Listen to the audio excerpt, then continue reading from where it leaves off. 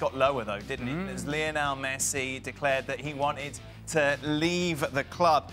Sid, I remember the conversation that we had on the day when it was confirmed that, in fact, this was real. We were in disbelief. Yeah, yeah, that's absolutely right. Um, I think we all knew that there were very significant problems. We all knew that Messi was in a position where he was contemplating what to do with the future. But I think we all thought that when it came to it, he wouldn't take this step. Um, I, I, think we all thought that when he came to it, that maybe it would help leverage changes at the club. It would be a way of forcing the hand of the club. Of course, we knew that he wasn't impressed with the squad, that he wanted changes made, and, and, and we didn't think it would reach quite this point. Now, obviously, with hindsight, you look at it and you think, well, that was a clue, and that was a clue, and, and that should have told us this was happening. And, and as I say, we, we all knew that a lot of those elements were in place, but we just didn't think it would reach that point. And then, of course, the other thing is that having reached that point, we didn't think there was any way back, and somehow Barcelona found a way back by basically closing the door at Messi and locking it and saying, you can't go. And it was just extraordinary to then see Messi announce that he was staying, but announce it in a way that had no joy whatsoever, mm. no sense of commitment whatsoever. He was absolutely blunt and to the point in saying, I'm staying because they won't let me leave. That interview mm.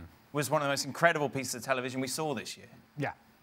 And you saw an honesty and a truthfulness from a player that gave us an insight into what his thought process was and the frustration of the moment. And the fact that in his mind, he was gone.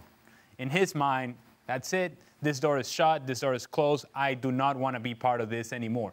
And it's impossible not to draw a parallel or a direct correlation to being humiliated with uh, Bayern Munich mm. 8 2, and that being the moment in which he just said, you know what, I cannot be part of this any longer. This, this cannot be what Barcelona has become, and, and I cannot be at the forefront of this. It's not that that was the only reason, but he just felt like that was sort of the push that he needed in order for him to, okay, you know what, I have to send this burofax. This has to end. I cannot be here any longer. This is no longer for me.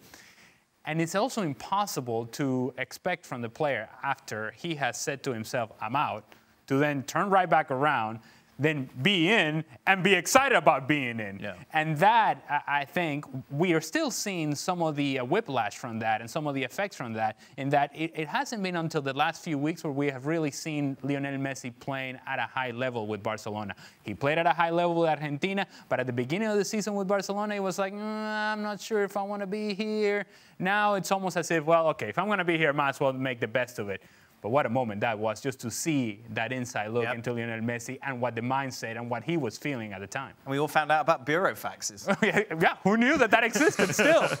uh, thank you very much, gentlemen, uh, for Lionel Messi uh, setting records uh, this year, of course. Um, the most goals for a single club. He eclipsed the record held by Pele. 644 goals for Barcelona. What? A, a record, surely, that will never be beaten. Nope.